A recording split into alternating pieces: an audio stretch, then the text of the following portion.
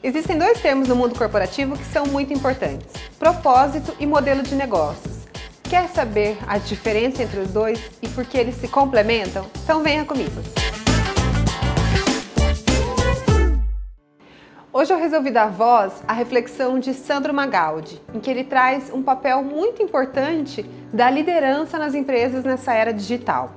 A reflexão de Sandro é a seguinte: se a gente pensar num Uber, que foi um negócio, uma empresa que revolucionou o mercado, criou esse conceito de plataforma e veio muito desafiar aquele mercado existente, derrubar preços, enfim, foi de fato um processo bastante revolucionário.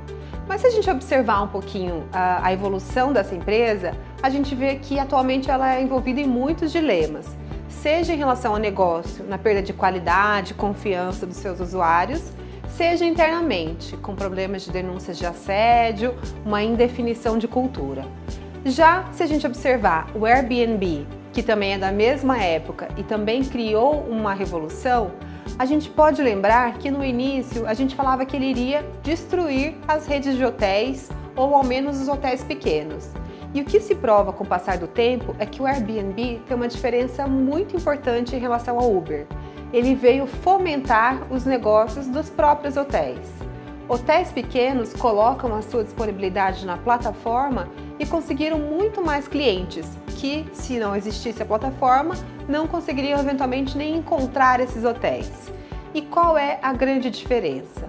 É que o Airbnb ele não focou apenas em criar essa plataforma e acabar com os preços, baratear todo o mercado o que ele quer fazer é viabilizar e ajudar a, neste encontro de oferta com a procura dos usuários. E mais do que isso, viabilizar o sonho de conhecer lugares, de viagens e trazer aí um conceito mais interessante para as pessoas que estão envolvidas nessa relação comercial. E por que, que a gente destaca aqui então essa questão da liderança?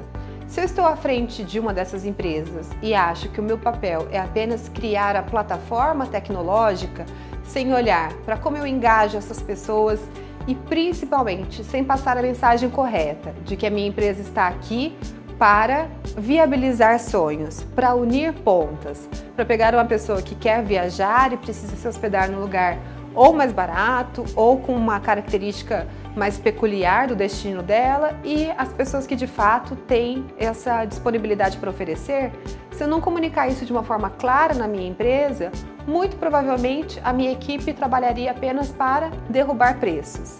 E quanto, enquanto a proposta não é essa de fato. Então, o papel do líder de engajar as pessoas e de comunicar este propósito para além do modelo de negócios é fundamental. Cada vez mais, com exemplos práticos e concretos, a gente vê que a tecnologia não substitui o homem. Ela vem tirar um trabalho operacional importante, mas também deixa muito mais claro, evidente e exposto qual é o real, real papel do líder. Então, o meu convite para você é que você reflita.